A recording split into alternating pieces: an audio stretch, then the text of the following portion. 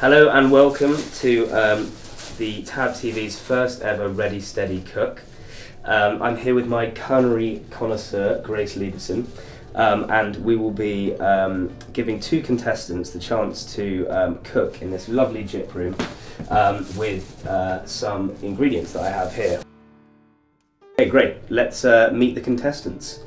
Okay, our uh, first contestant is Toby Pleming, uh, who is at Christ's. Um, he's a fresher here. Um, what do you think of this gyp room? Well, you know, it's fantastic. Really, can't ask for can't ask for more than two electric hobs. Don't want to be greedy. Um, have you had um, any kind of notable um, previous cooking experience? Uh, yeah, on my on my gap year, I spent uh, a year as a as a pastry chef in Paris. So I've uh, I'm more familiar with pastry than processed peas, but you know, should be should be an interesting challenge. Okay, great. So um, Toby is at the midway stage now, um, and you know, even though he is burning um, some kind of the egg and the sausage is really rather uncooked, um, we thought we'd kind of go towards a, a sidetrack. Um, Toby, you tell me that you um, are very into uh, quinoa as an ingredient. Well, I mean, George, I'd like to pronounce it the original Bolivian pronunciation of uh, quinoa, um, and it's actually a real problem at the moment because Guardian readers are um, pricing the local Bolivians out of their quinoa, so there's a actually a huge starvation problem. That's why I've, I think probably our producers opted not to not to choose quinoa today because it's a real serious humanitarian disaster. So Toby, you have been a fantastic contestant. You. Um, would you like um, just to talk us through uh, exactly what you've done here? Yeah, absolutely. Um, so I've got a sort of elegant uh, bean and pea uh, symphony here. Um, in the shape of a sort of crude yin yang symbol representing the balancing of the palate. Um, the potato here um, anchors the dish both uh, physically and metaphorically.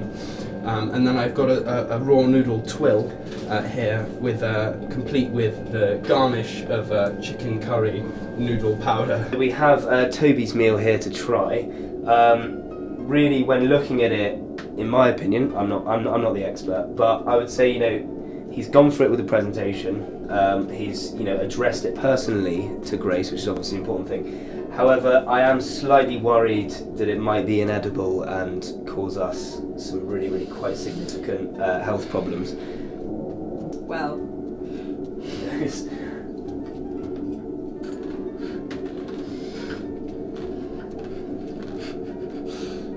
is abounding with different textures. mm, there's um, there's that really earthy kind of black It's and very flavour. earthy. It's very earthy. Hello, um, we are here with uh, Mariella Salazar, who is our second contestant. Um, how are you feeling today? I'm actually really, really nervous. Really nervous. Yeah. Okay. Um, well, a few kind of questions about you and your cooking. Um, what is your your favourite ingredient? Rice, definitely rice. I think it's a staple food for any Asian. Rice and bamboo shoots. Okay, great.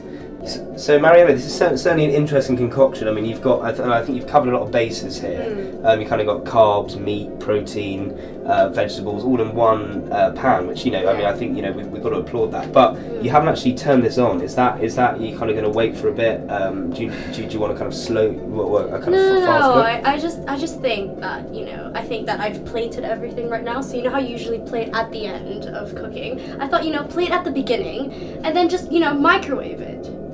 Okay, Right. okay. It's clever, clever. Potentially dangerous. technique. Potentially very good. So now the, uh, the the moment of truth for this uh, microwave, we, we we really really got to see if this is going to pull off. It was a massive risk for Mariella. What what is going to happen here?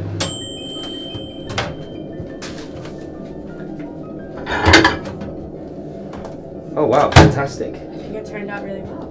Let's just add on some crunchy nuts, because you know we all love our breakfast I do I do fucking love crunchy nut. Mm. Both gone for crunch, haven't they? Yeah, it's, Mm. Okay, now it's time for the verdict. Um, personally, I think it's a very, very hard fought battle. I think they both had their positives, both had their negatives. Um, Grace, what do you think? Well, George, it's been a, it's been a day full of fantastic flavours and some really exciting young chefs on show here. Um, you know, for me personally, I would say that you know, Toby with his presentation, his kind of inventiveness, and yet you know the, the subtle use of you know classical training. That was that was something really, really exciting to see. But you know. Um, Mariella, on the other hand, you know, she certainly went for it. She um, she was bold in her flavors. It was nice to see kind of you know some kind of fusion cooking, mixing kind of Asian flavors with more traditional British ingredients, and um, yeah, always, always always exciting stuff to see. Um, you know, I'd say I'd say the true winner though here, George, is perhaps Kellogg's Crunchy Nut, the Tab's favourite breakfast cereal. I would have to agree with that. Thanks for watching. Bye bye.